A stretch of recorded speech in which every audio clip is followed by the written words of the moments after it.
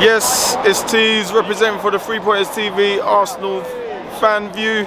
Um, so we just had we were just escorted out of the We got stadium. kicked out the stadium. We, got kicked out, kicked mate. out. We got kicked out. Right in a minute, honey. honey- poor Don't little worry, honey she's still here. She's out. still with us. you know what I mean? We're gonna win the league, aren't we? We're gonna win the league. All right, sorry. Um, so Marty, man, what I wanted to ask you, mate, is um, were you happy with the um, substitutions tonight? I don't know. Look, I don't know why he brought Tomiyasu on for Ben White. I don't know why.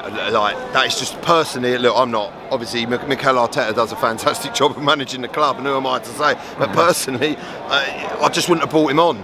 He's, uh, you know, we were fine at the back, and I would have. I would have personally liked to have seen Fabio Vieira or Marquinhos, one of those boys, get a run, run out and see what they're about. Yeah. You know, and, and I think it was a, a, an opportunity to get them out. But maybe saving them from a, for another situation. I mean, I don't want to say anything too too derogatory about Mikel Arteta because I think he's doing an absolutely fantastic job. Uh, one thing I love is I sit right by him and I see how animated he is, and he's up and he's out and his arms in the air and he's jumping around. And I think, uh, you know, that's something we've been missing for so long in a manager. Someone's enthusiastic as hell, someone that's sharp as a tack, and someone that just absolutely wants to go for it and is behind the behind the team and infuses them and, and, and gives them that, that, that electricity to, to move forward. Yeah. Eddie, Eddie came on. He made a bit of an impact, though, didn't he? They're all singing, singing his name and everything. Yeah, do you know what? The thing I loved about Ed, Ed, Eddie, Eddie Nketiah was game management. He'd give the boy the ball, and it reminds me of John Barnes in 80, 88, 89 season when he should have just took it to the corner flag, and then obviously the ball got passed back. Was it Winterburn off to Lukic, and we know we all know the rest. And Mickey Thomas sticks it in the back of the net, but. You know, Eddie started running it down the right flank. He'd get to the corner flag. He'd stop. You know, it, it, game management. That's one thing as well that Arsenal, this Arsenal team, and this season that I've seen fantastically is game management and game control. And that is how Real Madrid won the Champions League last year. You know, if you look against City, they were 2 0 down. They got two lucky goals. Then when they got the third, they were, I mean, Courtois was throwing a ball into the crowd. And the, the games they were playing were absolutely unbelievable. Obviously, watching that against, there we go, the old Tottenham lot. So, uh, so you know, watching that, it's frustrating as hell. But the bottom line is, it wins you championships. It win, it, it won your um, Real Madrid the, the Champions League. You know, for God's sake. So, you know, they're valid tactics, and you know, you need to do them and play within the rules. And you know, see the game out. When you're two-one up, what's the point in trying to go for to make three-one just to get your name on the score sheet when you can close it off? And I think that's the difference again. Why we're five out of five is because in the last few seasons, the last load of seasons, we haven't had game management. That's where that old classic one 0 to the Arsenal comes. We'd score a goal and we'd park the bus for the rest of the game. And George Graham, and that won us. That won us league titles. That won us, you know, FA Cups, and it does.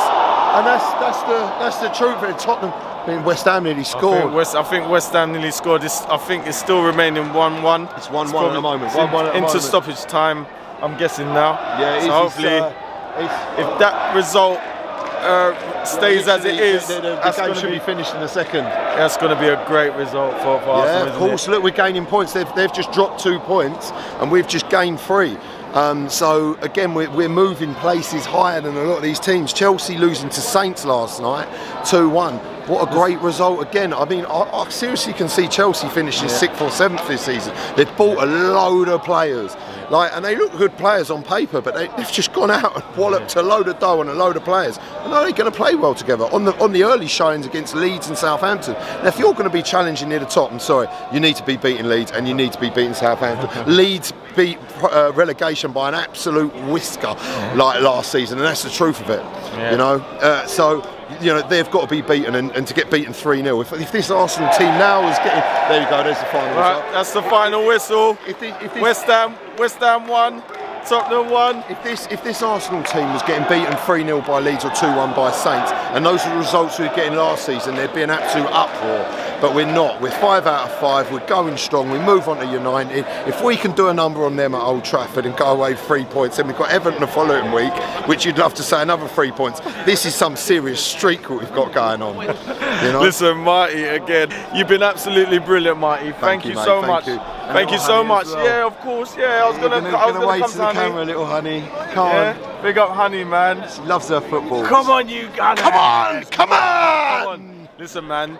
Thank you so much for coming back on the, Pleasure, mate. Thanks you for know, having the, the Three Pointers TV. Um, we'll see you guys on the next one. Definitely. Um, big up Dubs. Uh, shout out to Stapes. Um, big up my man Io, uh, Aiden, And uh, listen, man, don't forget like, share, and subscribe. Yeah? Can you tell tell the people tell the people what they should do, honey? Like, share, and subscribe. Like, share, and subscribe. And big up the Three Pointers TV. The and, and be on the um, Three Pointers TV. Nice Yes. Come on, come on, you Come on. guys, come on. Come on, peeps. What are you waiting for? Like, share, subscribe to the Three Pointers.